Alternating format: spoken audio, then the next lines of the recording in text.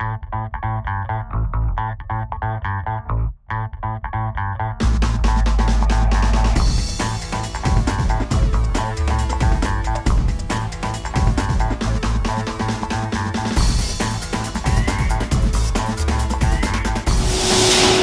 I'm Mark Brown, VP of Sales with the Industrial Automation Division at RG Group. Here today to talk about depalletizing. If you're doing manual depalletizing operations in your facility, this might be something you're interested in. Let's check it out.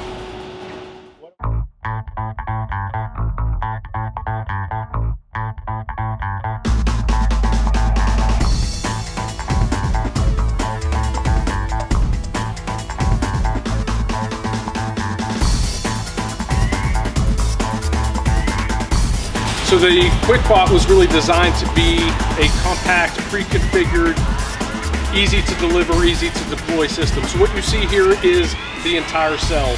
Uh, integrated safety, integrated controls, integrated conveyors, and an, an, intuitive, flexible robot system that's really powered by a 3D vision system and controller that really automates this with very little programming uh, to get it deployed.